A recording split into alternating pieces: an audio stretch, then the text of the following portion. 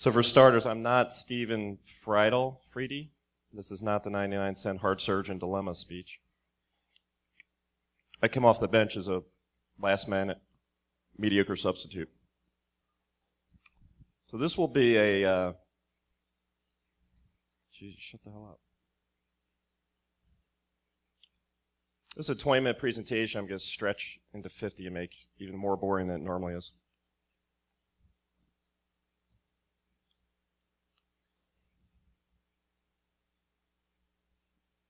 I'll dive right into it. Where'd that come from? I don't know what that's all about. All right, rule one. What movie is this from? Excellent. Good crowd.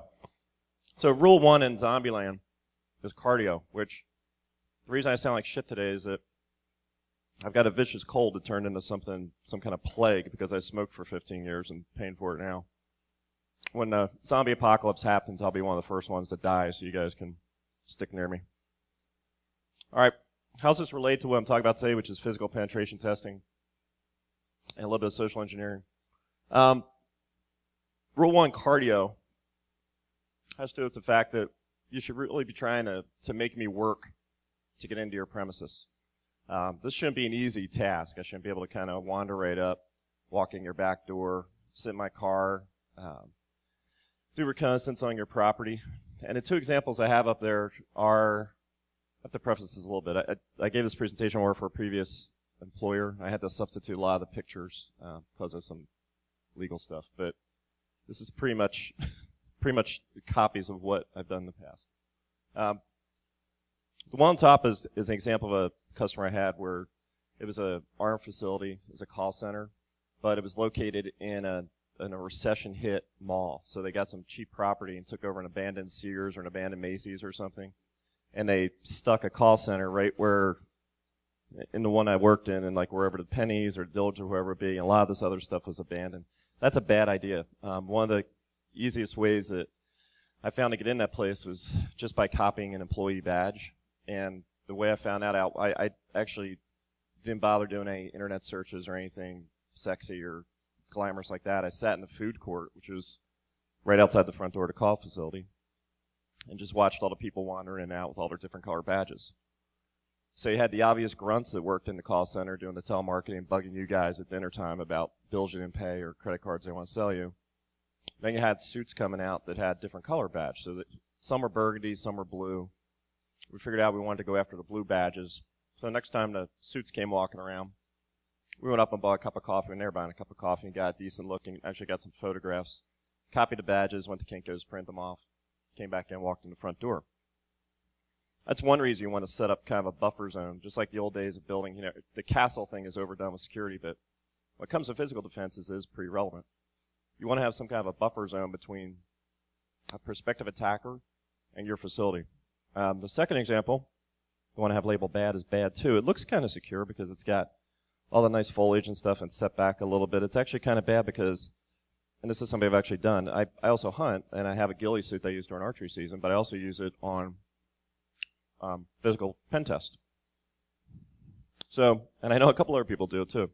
Um, you can get incredibly close to some places that are considered extremely, extremely high, high security. Um, government installations, heavy duty defense contractors, places like that. You know, concertina wire, razor wire, arm guards, dogs, the whole nine yards. You can get right up on them. If they have foliage and things like that that come up onto their concrete, you can get pretty damn close and find out a lot of information that way. All right, smoking kills. I'm going to die about 20 years earlier than everybody else because I smoked for 15 years. Um, does anyone know what these blueprints are for? I mean, come on. Absolutely, a Death Star. So remember the beginning of the movie? Princess Leia's on a little ship in a capture, and they said, "Where the you know, where's the plans at? Where's the plans?" Where? How do you think they actually got the plans from the evil empire?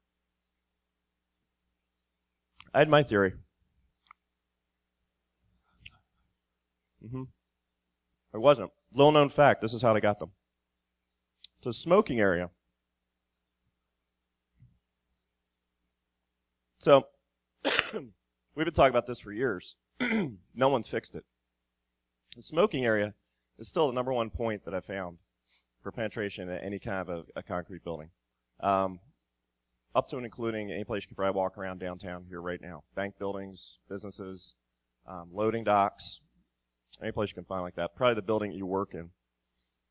Even if you don't smoke, uh, it- and I know one one person in particular that I talked about this technique a lot with years ago. He's a violent non-smoker. Um, even if you don't smoke it, it doesn't hurt to just kind of hang out there and talk to people. Um, because I smoked for years, I'm still in the habit of kind of hanging out with people who do smoke, or even here, you know, I'll, I'll wander out front and start talking to people. Uh, there's a couple things that it, it's really good for. One is in the reconnaissance phase, just trying to find out different information. If you hang out long enough, you find out all kinds of crazy stuff that you can document when you come back later, go in your car and start writing these things down. Find out about people that um, you've got the people that have money troubles that get co-opted financially, and that's documentable, and that you can write that up in a report. Um, they'll talk about problems with the system, potential outages, uh, who their bosses are. You can find out chain of command, org chart. You can do a lot of social engineering mapping just hanging out by the smoking area. So this isn't to say you have to like outlaw smoking at, at your facility, but one thing you have to do is get it under control. Um, have some actual policies and procedures about. I've been in places where they have smoking areas they're very secure. Uh, years ago, MBNA Bank up in Delaware had a whole separate. They had almost like a tunnel that you walked out, a, air-conditioned, heated HVAC tunnel. Went out to like a nice little gazebo that was out there, and it was like an airport smoking thing, all filtered. That was great. I mean, it was impossible. I mean, the whole place was like one big glass bubble. It was very difficult to get in there, especially through this particular venue.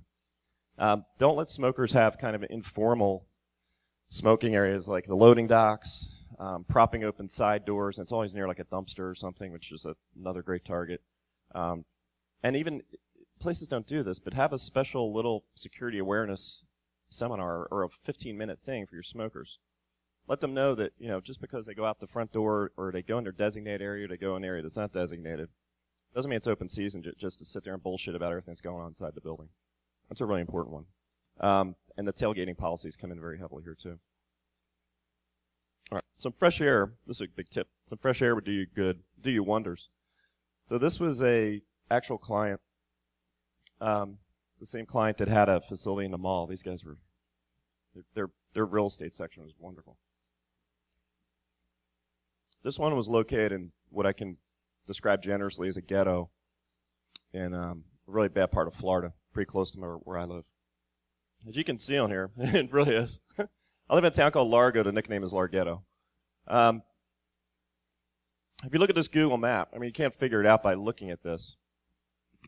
But once I went there, actually, I went there for the first time about 11 o'clock at night. Kind of scope it out at night because it's usually a little bit slower then. Um, I'd done some research and found out that most of their operations were relatively 9 to 5. The customer base was mostly U.S. based. so they were roughly 6 in the morning to about 8 o'clock at night. A lot lower level of activity at night. Um, the guards, as I found out, who were pr- practically non-existent, were particularly ineffective at night. I parked kind of up right above where the H would be, right? Park my car, I get out. The first thing I see, those are train tracks going this way. There's a street here, street here, street here, and a big parking lot. First thing I see when I get out of my car is some some kind of like rustling around and some brush that's up there, the street goes under the railroad embankment. And I see this guy come walking out who's just a total crackhead, you know, flip flops and just just nasty, dirty. He's got about six months to live. He comes walking up, kind of hiking his pants up, wandering out. I'm thinking, jeez, what the hell's going on here? And I'm th- first time I'm thinking, I'm getting back in my goddamn car and getting out of here. Then I thought, okay, I've got I got a carry permit in Florida. I'm carrying. There's only one of him. I may live the encounter out. I don't know. Well, next thing I see is his girlfriend slash. I guess he would be the client. Would be the generous way to put it. Um, the business lady that he had been doing business with in the bushes apparently comes walking out. Now she outweighed me by a good buck fifty, two hundred pounds. So now I'm thinking, I got a 38 with some wad cutters in my pocket. There's only five shots. I'm not quite sure I can take the wildebeest down. So at this point, you think, is your salary worth it? I'm not getting overtime. I got the crackhead over here. I've got Sasquatch over here. Kind of checking shit out. Well, come to find out that what I have labeled homeless camps, I used this slide when I presented to the customer. It was more like open air brush whorehouse is over there by the H. Over here by that other arrow on the other side embankment, I found a little, uh, like a nest is the only way I can describe it, where there was a blanket, an old beat up sneaker, and like a really beat up teddy bear with a big hole in the middle of it. I have no clue what was going on there. And the first thing I thought of when I saw that, I'm looking around thinking, Jesus, I don't have any gloves on or anything. I just kind of backed out that little nest. Well, the bad thing about that little nest is that this is the official smoking area, break room, picnic tables, all that shit for the whole call center. The little homeless camp was right about here. It, that is a lot closer than it looks. It's about 25, 30 feet away. So when I was in the little nest, this was actually the next day. I did that during daylight after my nighttime escapade. Um, I just sat there for about 20 minutes once I backed out a little homeless area and listened to all the conversations going on at this nice secure facility behind her chain link concertina wire and everything else, where this homeless guy apparently has set up shop. Now, in addition to that, where I've got compromised fence line, um, over here was kind of a traditional, just shitty fence maintenance. You know, they had the fence started about, I think it was about here. There was a gate, I think I wrote open gate. There was actually three open gates. There's an open gate here, big slider gate you drive through. There's an open gate here. Right about here, there was a section of fence that's just in disrepair where in about, you know, one second you can just kind of roll under it and just walk into property and there's no cameras or anything back on this corner. That piece up there is particularly disturbing because um, obviously it's being used by whoever these homeless transient criminal whores, whatever else is going on back there. Um, it was a section fence that was kind of rolled back on itself against the post and tied back, and there's and it's sandy there, and there's an obvious footpath there. So whoever rolled that thing back, and they did it behind a dumpster, they were coming in and out of this property for whatever reason. I, I suspect they were probably just dumpster diving or God knows what. I don't know. Maybe they were maybe they're hackers and are going in there getting free internet. All the crap back here. I don't know what they're doing. But it, it, it was kind of funny. I brought that one to the customer's attention immediately. You know, some things are critical, but some things are more critical than others. Um, I called them right away and I said, you know, this report's gonna be a gem, but I gotta tell you guys, you have a you, you've obviously got some kind of criminal element that's cut your fence, rolled it back, and they're coming in and out of your property. There's, there's it rained yesterday, and there's footprints right here today. So last night, between me being here at 11 at night and 10 o'clock in the morning, somebody came in and out of this property. Um, so this is a mess. These guys. Their main entrance is up here, nice and secure. They had a security guard, nice lady at reception.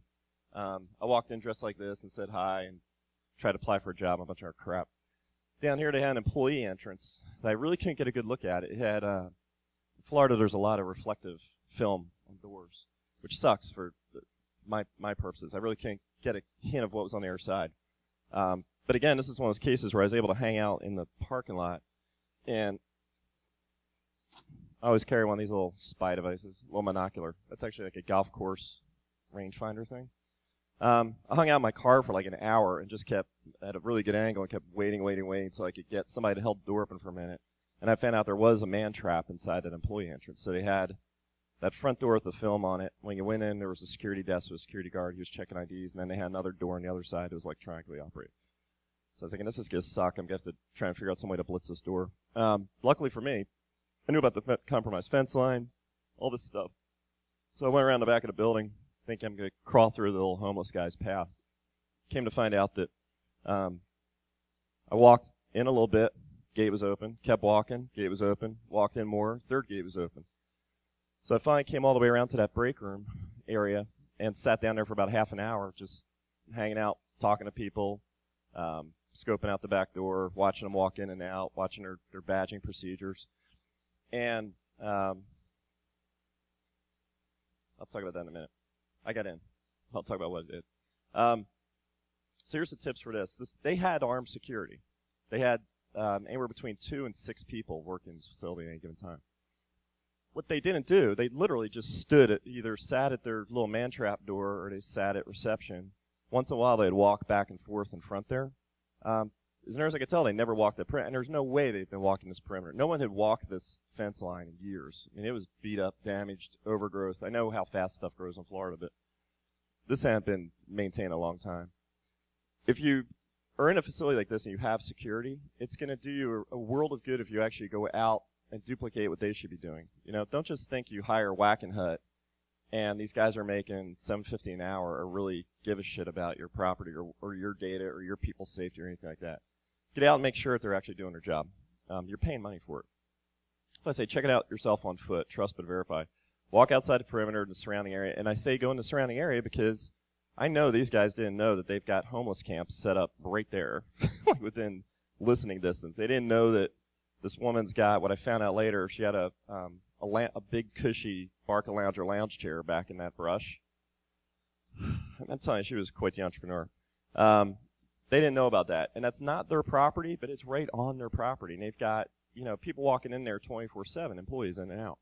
Not good stuff. If you see anything, call law enforcement. It's not your job to like take these people out. Um, again, it's not just data security. Sometimes it, it can be a, a physical risk. this one, it goes back to what I was saying. Were you raised in a barn? My mom said to me like every day. Um, it's astonishing how many places you go to and the doors are open. They have locks and stuff and keypads and all that cool shit. They just don't close them half the time. Um, I think Kevin Mitnick was talking about yesterday where the one place they went in, they walked out, they stuck duct tape on there so they can come back in whenever they wanted to. I've actually been in facilities where they duct tape their own doors, which makes it really convenient for you. Um, that particular place, that customer, um, once I got around the back, I was hanging out in the smoking area and watching, just kind of staring at this back door and talking to people and trying to be cool. I, I realized I've got I'm getting old. My eyesight's not great. My hearing kind of sucks. I realized I wasn't hearing any kind of clicks or buzzes or beeps or whistles or hoots or hollers, nothing. Um, I was I was kind of focused on watching how long people were holding the door open and, and how I could tailgate and which person I'm talking to would be a good candidate to follow in the door. Not really paying attention to the door itself. Then all of a sudden I, I got a closer look at it. The damn thing wasn't even closing. It wasn't even it wasn't even come close. It was almost jammed open. It was come about have space about that big. So as soon as I saw that, I grabbed all my shit, picked it up, walked in the back door. Again, it was a film door. I didn't know if there was a man trap on the other side of this one or not. I got lucky. I walked in right into like a snack area break room Walked right in, got into the cubicles, and spent 45 minutes in there owning the whole place. It was a disaster. Um, so the first thing to check, there's a TV show. I can't think of it. It's like the, not the greatest warrior, but something like that, where these guys compete against each other. It's a strength competition, brains, and they break through walls with sledgehammers. And then the second row of doors, you have to pick the door, kick it open, or whatever. Well, they always leave the door unlocked, and these guys never check it. They always start wailing away at this door with crowbars and sledgehammers and trying to climb over it and shit every once in a while the smart guy will walk up and just try the knob. So my advice is, you know, if you're doing if you're doing a pen test, if you can get at the door without being observed, at least try the thing. Half the time it's not even locked. All right, so tips. Please shut the door upon entering or exiting. Make sure the doors are in good repair. I found out later the one, um, that particular one I just opened, it had been broken for something like 18 months. Um, it was on some kind of work queue somewhere. The maintenance guys just hadn't got around to it. Um, in addition to other people being probably fired at that place, I'm pretty sure the maintenance guys were screwed. Make sure they close correctly. They're timed right. If you are using electronic locks, make sure that it's on. Um, and again, it goes back to like badging and policy and security awareness. Make sure that people are, every single person walking in and out is badging in and out. They're not holding the door for the next guy. Just politeness. Close the door. Badges. Badges are like my favorite thing in the world because they're so freaking bogus. Um, I've got some examples up here. Frodo Baggins, son of Drogo Ringbearer. Um, that New York State benefit card, the name is Hakeem Nelson. That's supposed to be a female. I swear to God, I think it's a guy. I mean, it, it, it, they are what they are. You know, DV, I don't know what that license submission one is. Um, so, one of the things I spent a lot of time on is the the guys yesterday talked about getting the backstory right. You know, doing a reconnaissance, getting your backstory right. One of the things I spent a lot of time with is kind of my supporting documentation, my supporting story. Um, and one of the, that's a picture of yours truly there. One of the personas I use a lot more than I used to in the past. I don't know why it's been, I think maybe I look older or more beat up or more blue collar than I used to, um, is the cable guy routine. Just going in, uh, pretending you're a cable guy kind of look and having a bunch of different cover stories. So let me do a, the next slide. This thing, this whole presentation is more for like um, end users and security awareness for C levels and people like that. So I'm talking a little bit more about the craft of it today with you guys. I'm gonna strip down. So this was, I didn't tell you, this is like the uh, job applicant persona thing, right? You go in the front door, doesn't work, or it does work, and half the time people don't, they're not checking on what you look like. They really don't get point.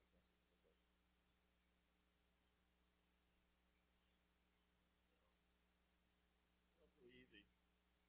Fake badge. Maybe got a little fake electronic access badge in there. I've got an RSA fob that I found out I got about two years ago from a company I was doing some work with. This still works. Frightening. This is about it. You can carry one of these around, you make lots of beepy noises once in a while. They swear to God that you're legit. It's astonishing. And everybody knows about the hacker clipboard, right? I mean, if you walk in with a clipboard, it's the keys to the kingdom, right? It's beautiful. What I like, it's like some kind of HSN showpiece here. What I like about this one is it's got a handy dandy little door there. So here's a couple things I carry.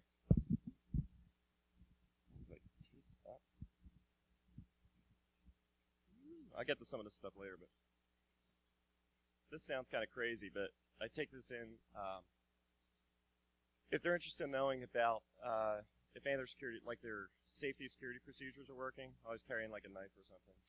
I'll tell them I have a carry permit because they get freaked out. Um, fake business cards, depends on who I'm talking to or what I'm talking about. Got a whole collection of them. USBs, multiple USBs. Um, this thing's nice because you can actually put a lot of shit in here if you steal stuff. You can put paperwork in here, all kinds of stuff. And when you're walking around the facility, you can be kind of have it open and just literally start dealing these out like frisbees. Um, the funniest one I had was in, uh, I'll about call center later, but the funniest one I had was walking down the aisle. Straight down this aisle, this woman was up talking on the phone trying to sell like, you know, overpriced credit cards to somebody. Saw it rolling by, reached back like this, nabbed it in mid-roll, without even missing a beat. Popped the button on the CD player, stuck it on the floor. I mean, I was going like that.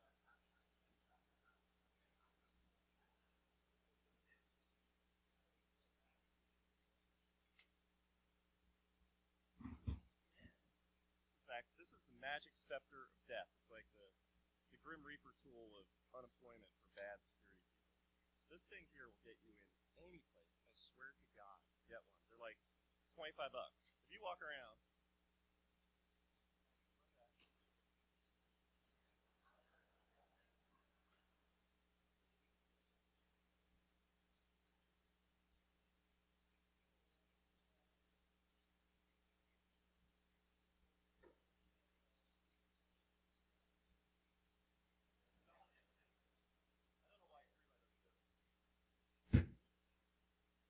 They are. This thing has got more people fired. Than... it's sad. I'm really not proud. The the one that one place I did was like that one place was like like two weeks before Christmas, and I came home. and was telling my wife all this cool shit I did and how I violated them. It was horrible. And her first thought, she's like, "Are people gonna get fired?" I said, well, "Probably." But I said, "There," and I told her who the client base was that this call center is working with. And she said, "Well, we have two of those credit cards." I said, "Yeah, I know." I said, "These dipshits are in charge of like, you know, your data, my data, our kids' data." I said, "It's, it, you know, tough shit. People are gonna be that criminally negligent, and life's tough." I'm sorry, I'm getting old and grumpy. So uh, I didn't talk a whole lot about the badges. It's so funny though. I mean, I that particular one I had. I'm trying to think what I got on.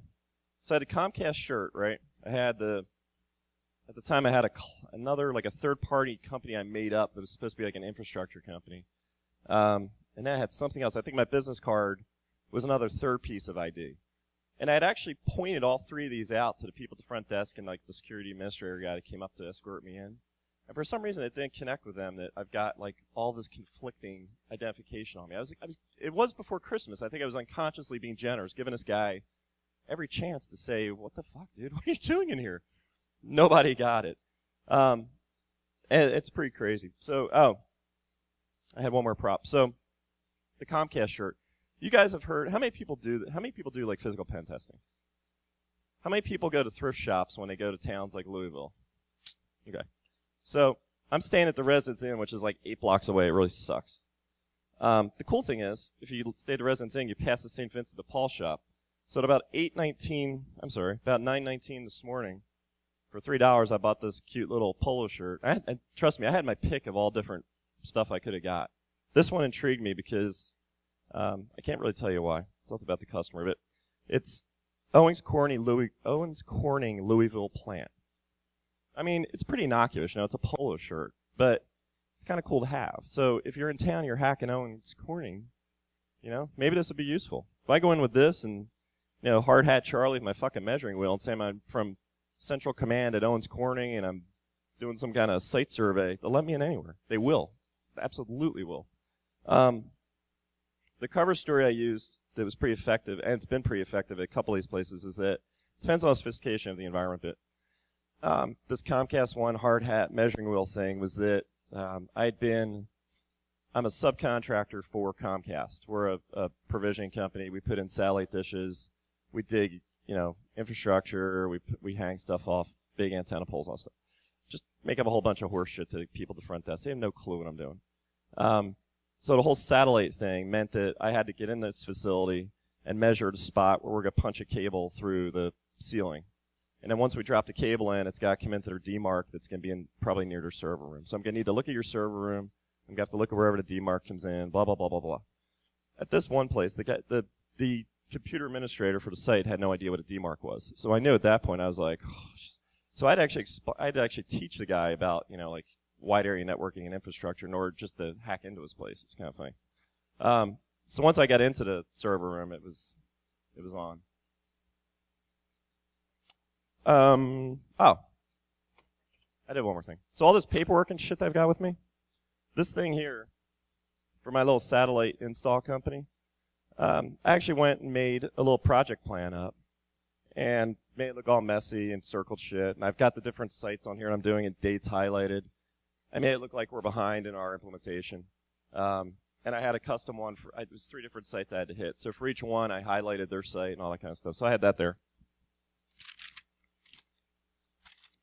Some kind of generic rack drawing. I said I had to get in, and see what kind of space you have in your server room. I got to check this is the kind of rack we're installing. I got to measure. I got to photograph. I got blah, blah, blah, blah, blah. I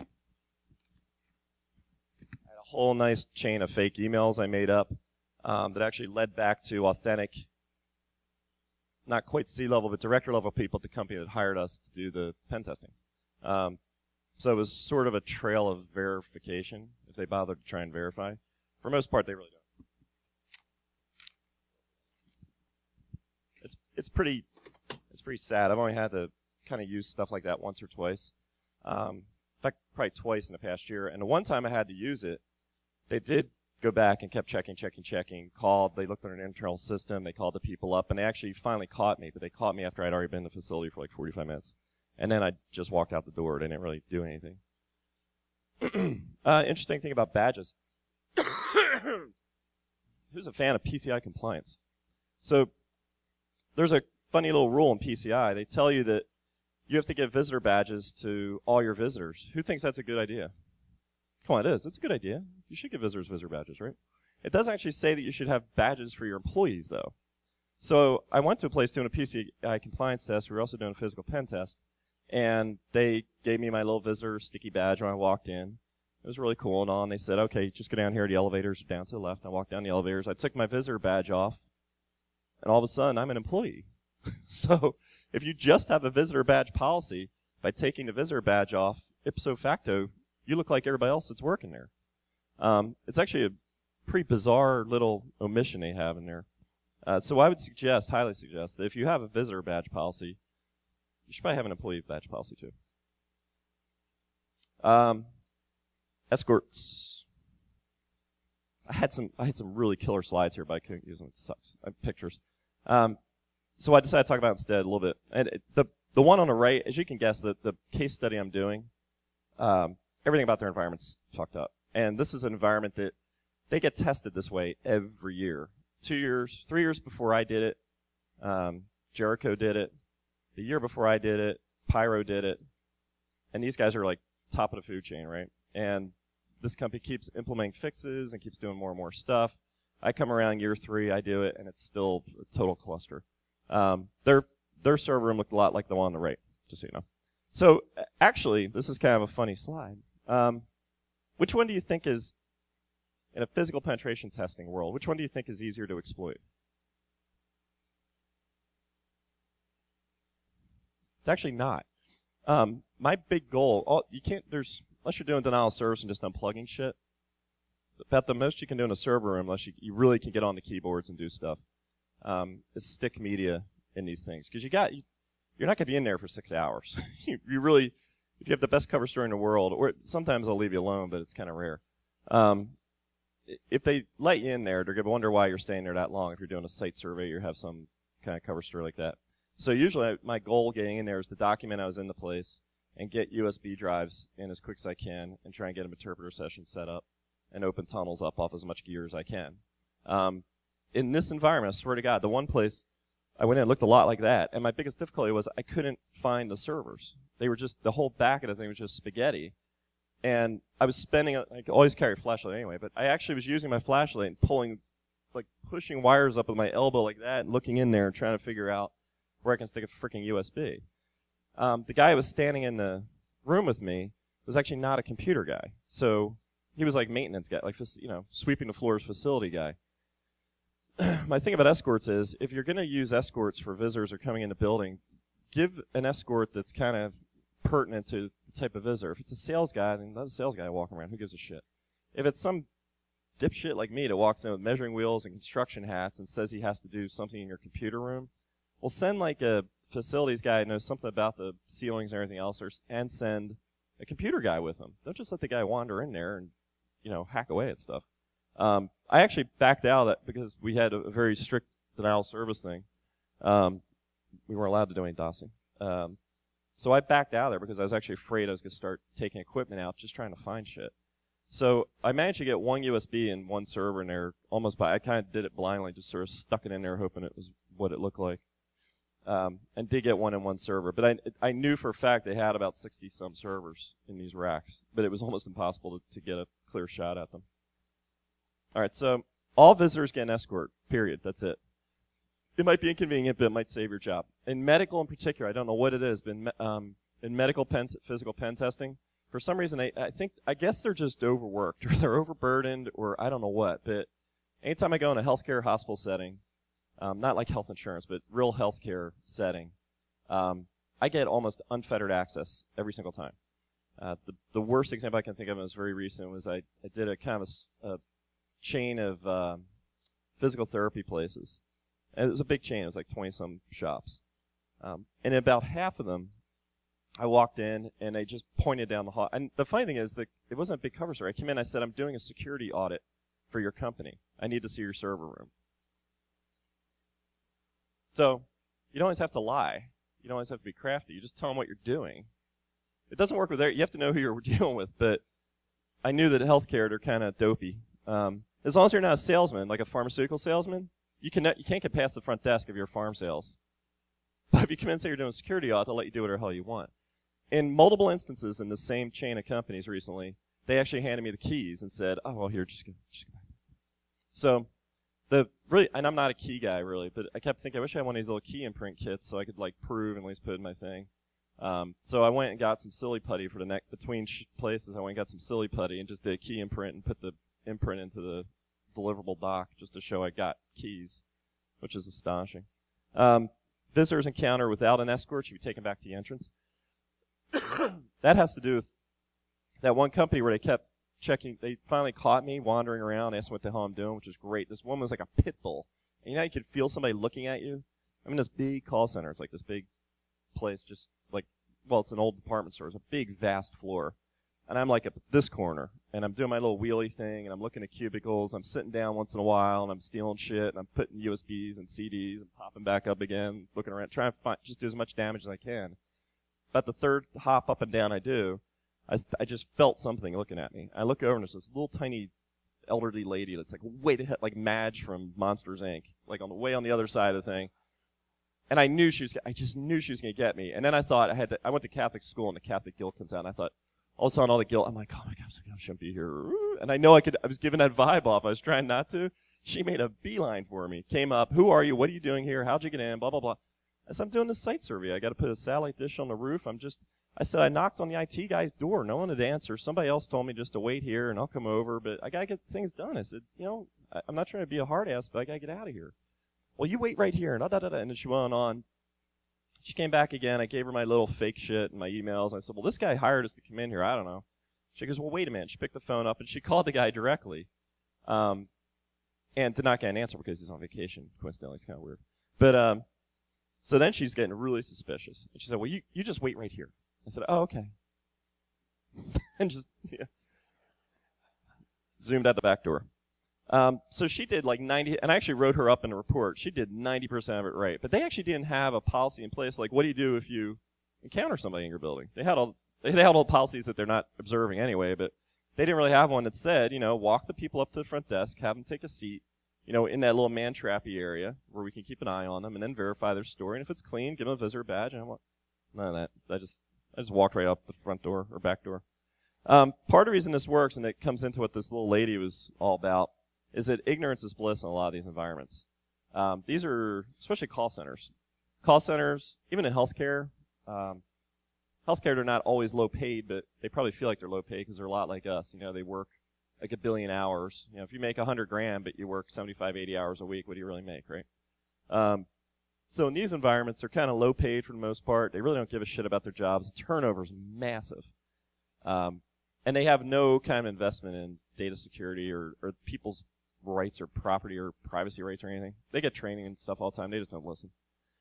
The biggest thing they do wrong though is they just ignore shit. I mean, this is the environments I work in most of the time.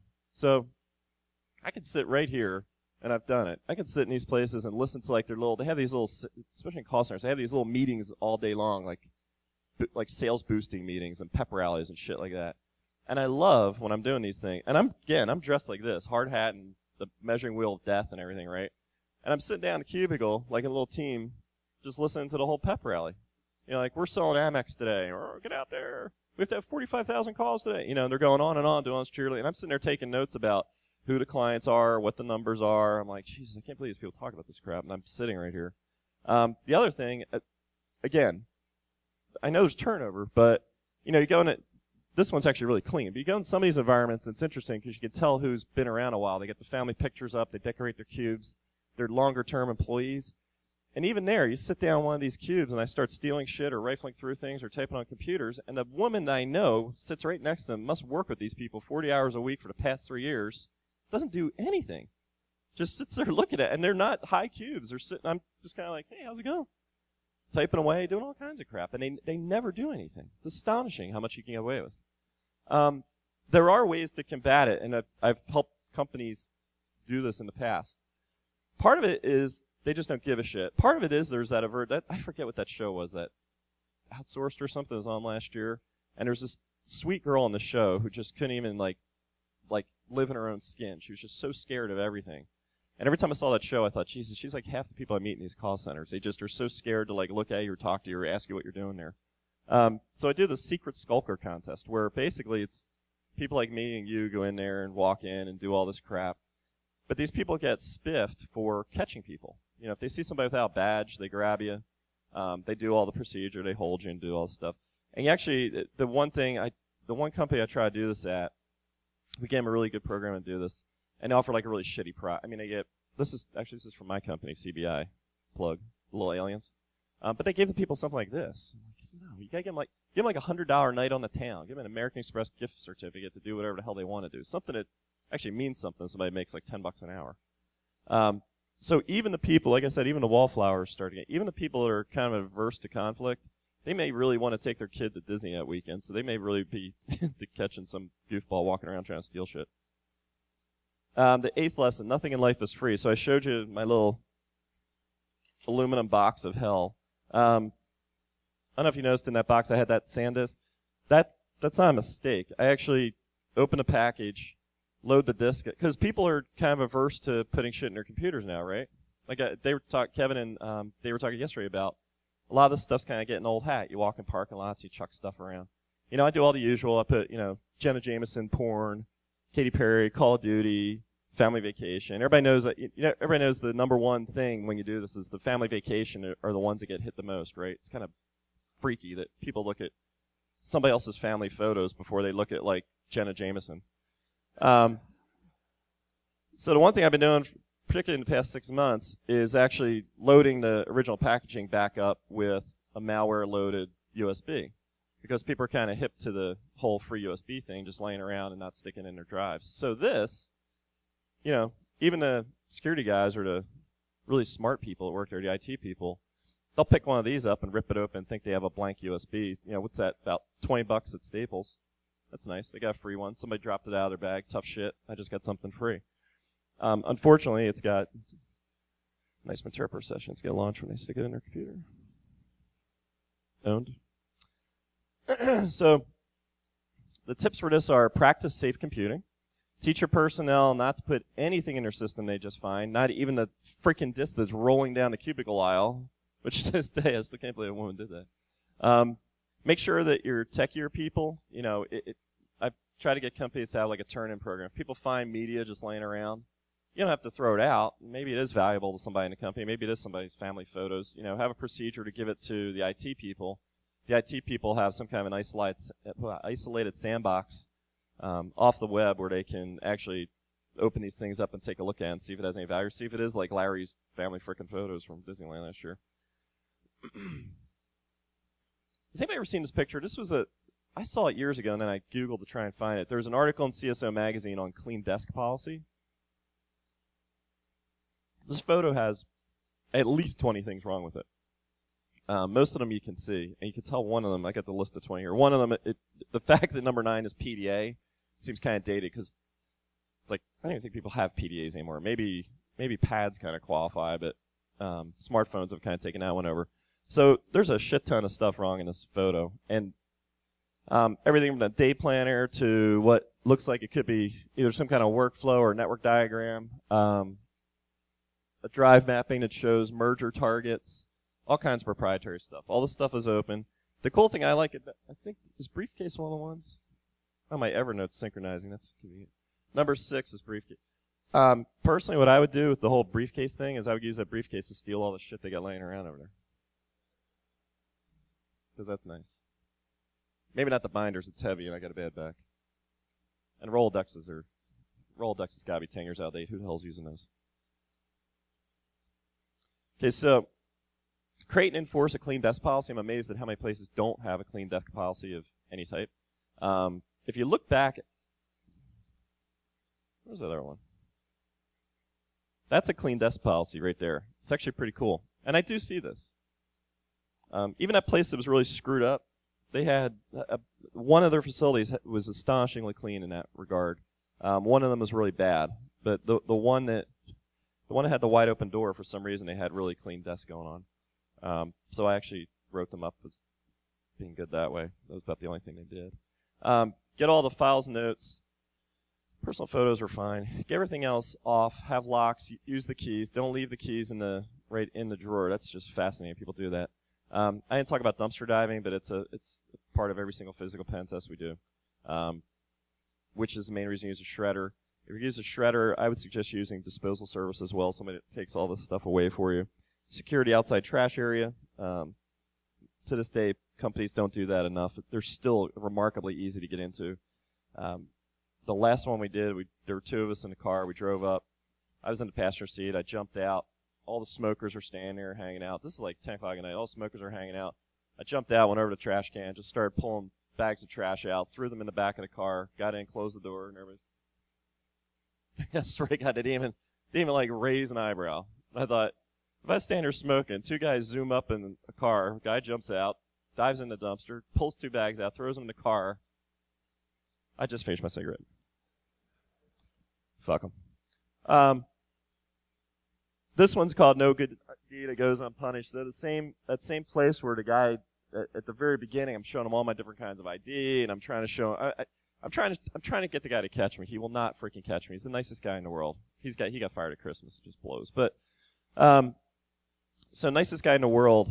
On my way out the door, I thought, well, the only thing I really haven't done, I haven't got administrator access to anything yet. You know, I didn't have time to sit down and really run any tool. There, the place was so wide open and physically so open that I spent a lot of time with my little measuring wheel going around. I must have made six laps around this place with the measuring wheel, looking around like trying to find cool stuff.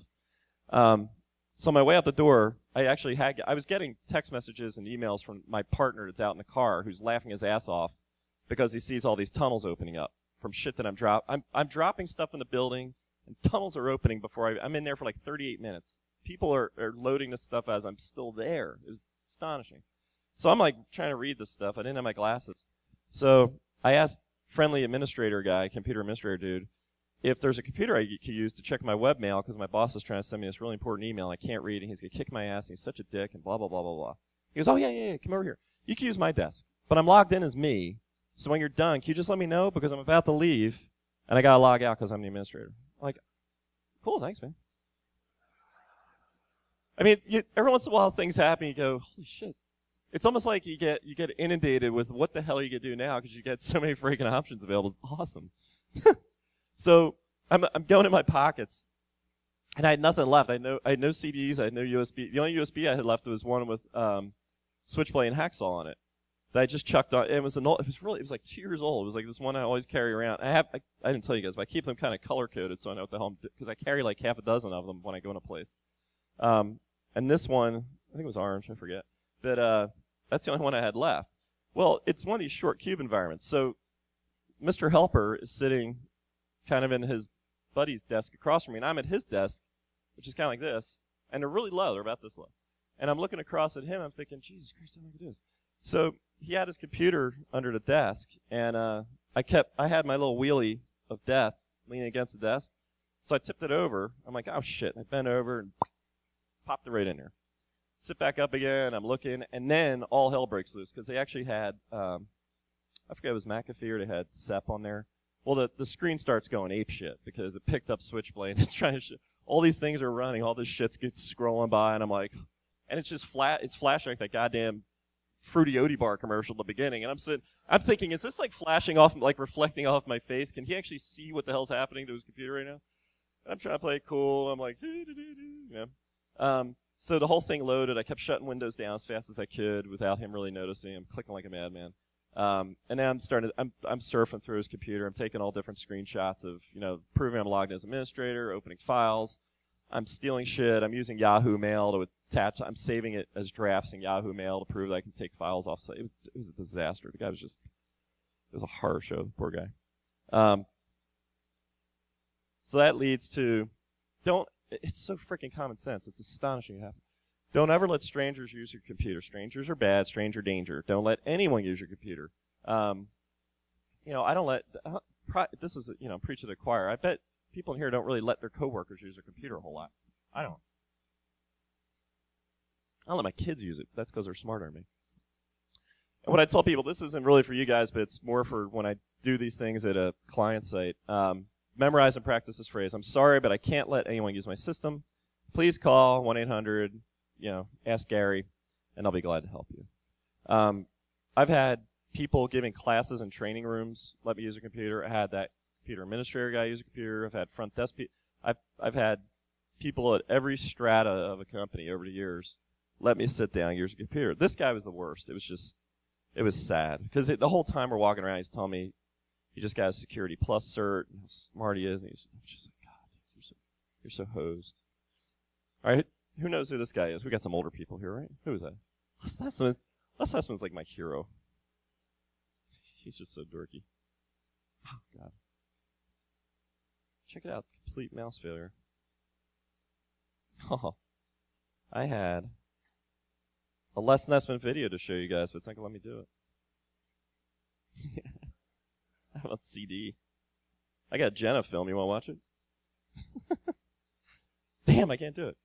That will conclude. That's amazing. 20 minutes. I went right on 50.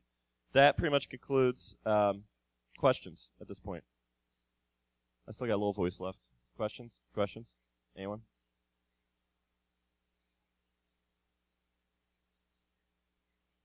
Yeah, piece the piece back together. Oh. Yeah. Yeah.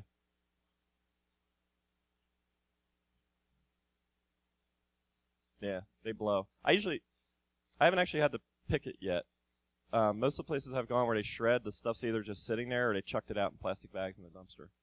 And if they're not doing cross cut, you can piece. The, I mean, you know, you cr- piece together pretty easily. We've got a lot of good data off that.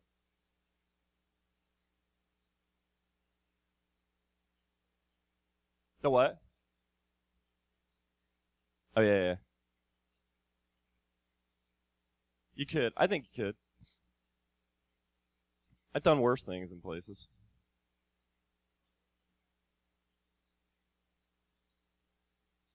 I actually just used the. I wonder if I had that slide. Oh, shit.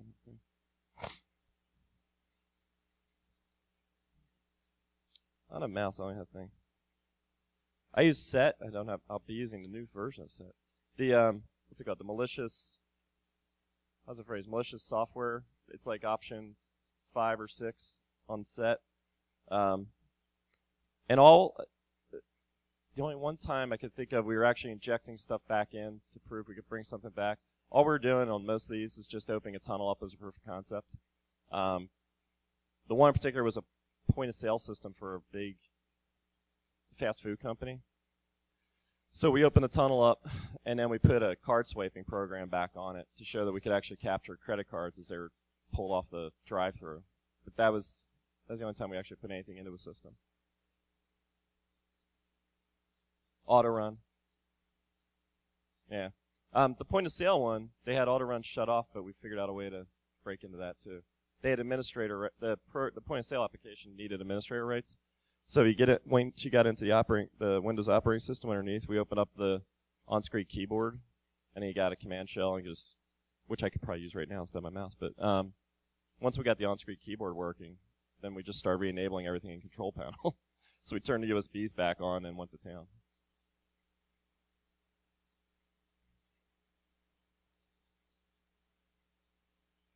Yeah, once. Um,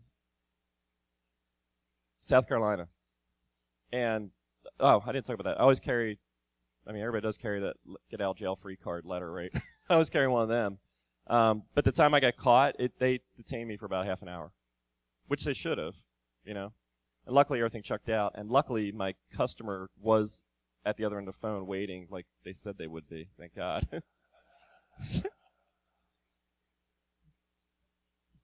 that it? Time?